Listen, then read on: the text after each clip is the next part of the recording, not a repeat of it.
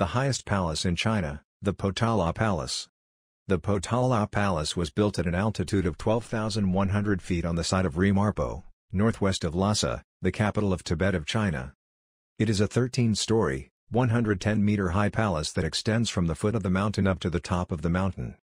The Potala Palace is representative of Tibetan-style ancient architecture. And it is the scenic design on the back of the fifth set of RMB 50. By the way, there was also a proposal to use Mount Huangshan on the back of the 50 RMB, but it had been used before and they thought the Potala Palace not only reflected the national unity, but also manifest religious significance. According to historical records, the construction of the Potala Palace was meant to greet Princess Wencheng of the Tang dynasty, who was married to Tibetan king, Songtsen Gampo, in the 7th century AD. But the Potala Palace as we see it now is mainly the White Palace rebuilt in the 17th century during the reign of the fifth Dalai Lama for his political reasons, and the Red Palace built after his death. Since then, successive generations of Dalai have expanded it to become what it is today. The White House is named for its white exterior walls. It is the Winter Palace of Dalai Lama with seven stories and once the seat of the former local Tibetan government.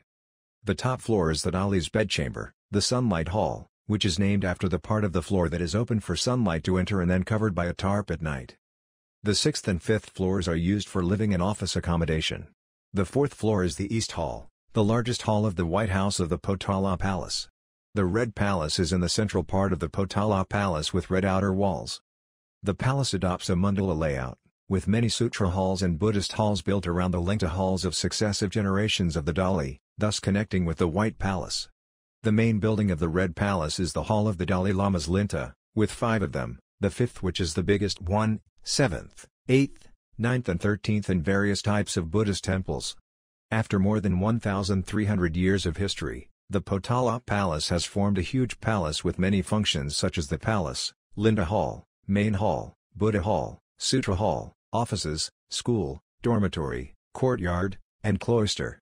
The palace treasures 8 Dalai Lama gold linta, 5 exquisite three-dimensional altar city and porcelain, gold, silver and bronze, Buddha statues, stupas, thangka, clothing, and other types of cultural relics about 70,000 pieces, more than 60,000 letters and volumes, become the roof of the world's pearl,